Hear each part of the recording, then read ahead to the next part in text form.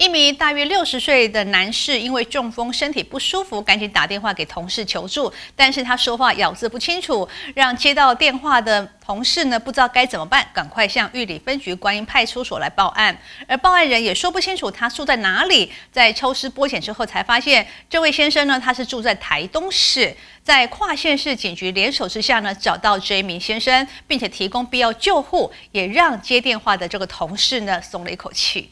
一位年约六十岁的老翁，因为中风，身体不舒服，赶紧打电话给老同事求助。只是说话咬字不清楚，导致接到电话的江姓夫妻不知道该如何是好，赶紧前往玉里分局观音派出所报案说明情况。后来报案人说不清楚实际的住所，抽丝剥茧之后才发现这名老翁是住在台东市。江姓夫妻当时不知该要如何处理，就到临近派出所。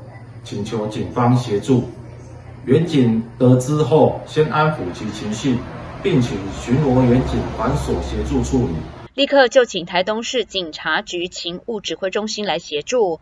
经过台东分局永乐派出所以及消防队前往住家查看，发现这名老翁独自坐在一楼客厅，已经呈现无法表达。经过送医之后，没有生命危险，但却罹患中风。因情况紧急，本所利用警政系统查询到台东的住处，且此时一零也通知台东分局前往该住处查看。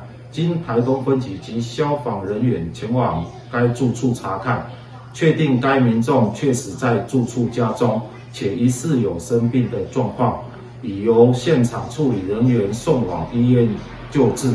最后，在跨县市警局联手之下，找到这名老翁，并且提供必要的救护，也让江姓夫妇原本忐忑不安的心情松了一口气。记者高双双玉里镇采访报道。